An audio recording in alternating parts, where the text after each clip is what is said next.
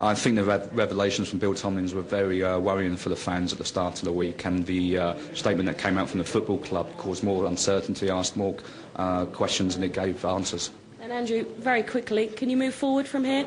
Uh, let's hope so. You know, at long last, some uh, welcome investment from a successful businessman. Uh, you know, let's really hope so now. This is not a, is not a